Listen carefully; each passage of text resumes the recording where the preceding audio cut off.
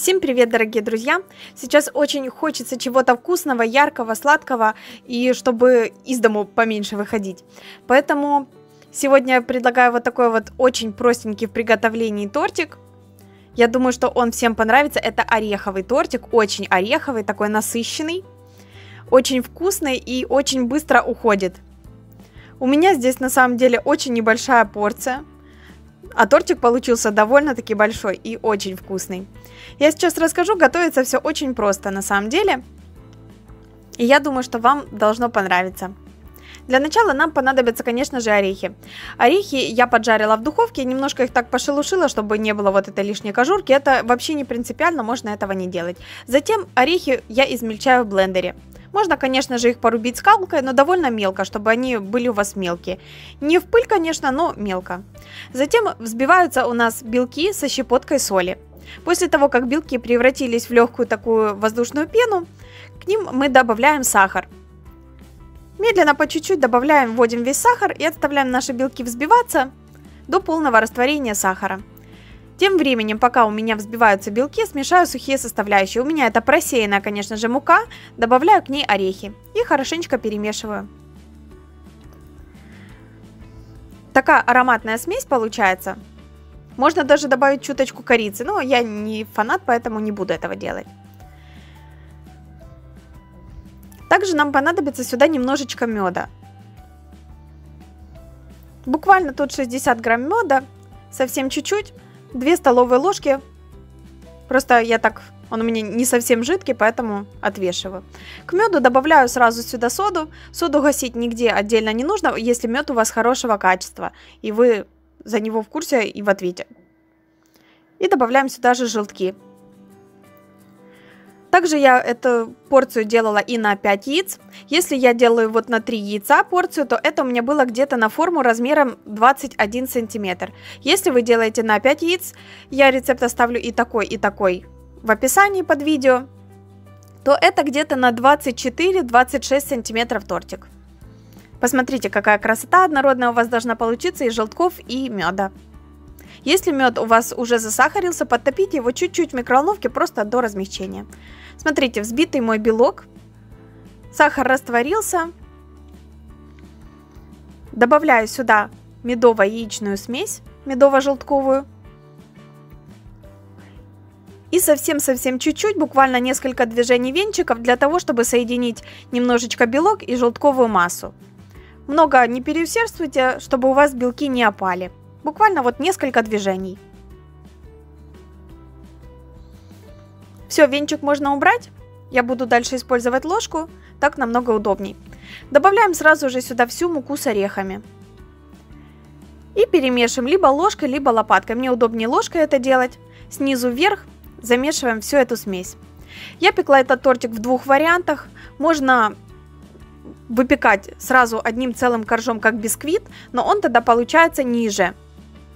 И в этот раз я решила немножечко зафилонить и испекла все-таки целиком – так, конечно, проще, не заморачиваешься, но тортик получается выше и пышнее, если вы печете каждый корж по отдельности, то бишь это 3 коржа. Если вы печете 3 коржа, то это где-то по температуре 180 градусов 15-20 минут печется у вас каждый корж. Так как я пекла целиком, то у меня пекся он около часа практически. Пробуйте его на сухую шпажку. Вот такие вот яркие и пористые ореховые коржи у вас должны получиться. Разделила их на три штуки. И теперь к ним нужно приготовить крем. Для крема нам понадобится размягченное сливочное масло. Оно у меня постояло при комнатной температуре. И также при комнатной температуре у меня стояла сгущенка, не вареная, обычная белая. Масло мы взбиваем минуток этак 5-7 для того, чтобы оно стало пышнее и посветлело. И теперь такой же комнатной температуры тоненькой струйкой вводим сгущенку. Постоянно взбиваем. Вы видите, совсем тоненькая струйка я ввожу и взбиваю одновременно. Масса должна получиться абсолютно однородной. Если вдруг она у вас чуть-чуть расслаивается, это значит, что у вас продукты были не одинаковой температуры. Вот такой вот однородный крем у вас получился. Он хорошо стабильный такой, в холодильнике схватывается, потому что там есть масло. Нигде ничего не расслоилось. Все, теперь можно приступать к сборке тортика. Я еще этот тортик буду чуть-чуть пропитывать.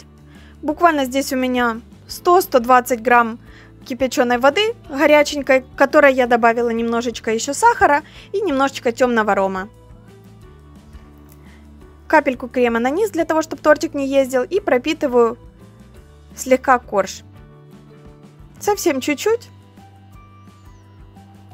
Он и так получается очень ароматный и мягкий.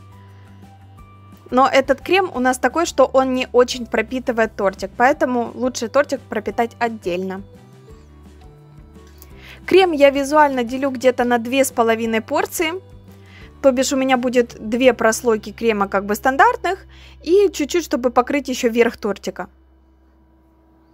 Можно добавить сюда какие-то фрукты, это вообще этот тортик очень любит. И какие-то персики, и ананасы, все что угодно, все, что вы любите, вы можете сюда добавить. Также можно пропитать вот тут немножко боковушки тортика, точнее коржей наших. Укладываем и точно так же крем и последний верхний корж, который мы чуть-чуть подровняем кремом. У меня оставался еще крем творожный из выравнивания тортика предыдущего. И я ними еще выровняла боковушки. Сейчас хочу показать, как очень просто сделать элементарно декор сверху. Из творожного крема, покрашенного пищевым красителем. Смотрите, сам тортик у меня стоял в холодильнике, то есть нижний крем у меня холодный, а крем, который в корнетиках, он у меня комнатной температуры, для того, чтобы он был мягкий и хорошо распределялся. У меня здесь красный и оранжевый цвет. Будет очень красиво, очень ярко.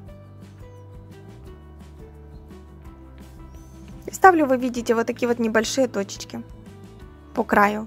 Понадобится вот такая штучка, можно вообще использовать кредитку.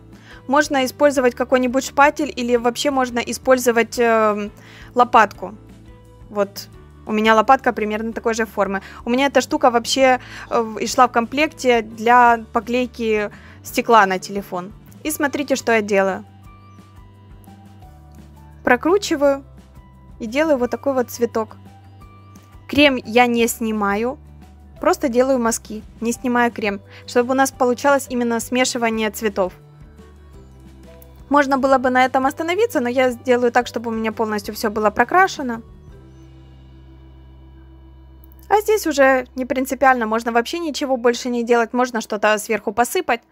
Здесь уже по вашему усмотрению и так уже очень красиво получается. А главное, очень быстро.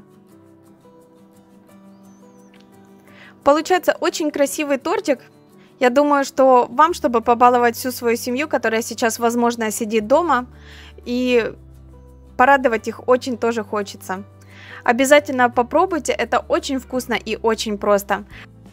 А с вами, как всегда, был Кекс. Пускай вы и ваши семьи всегда будут здоровы. До новых встреч. Пока-пока.